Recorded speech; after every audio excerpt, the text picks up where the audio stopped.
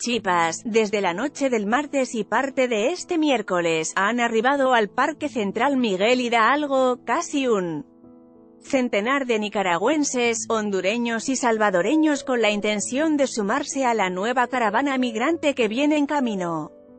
que partió el 15 de enero de San Pedro Sula, Honduras, la cual podría estar ingresando a territorio mexicano el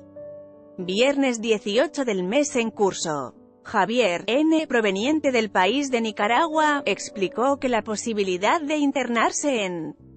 el país con la nueva caravana, es la oportunidad de mejorar sus condiciones de vida, y perseguir a lo que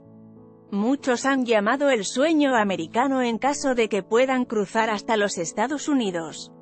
Cuestionado sobre la posibilidad de iniciar su trámite de regularización con la Comisión Mexicana de Ayuda a Refugiados Comar, dijo que es bueno, sin embargo tendrían que esperar, al igual que sus compañeros hondureños por un periodo de tres meses, algo que no les conviene cuando pueden seguir su tránsito acompañado del nuevo grupo. Por último, comentó que su ingreso, lo hicieron a través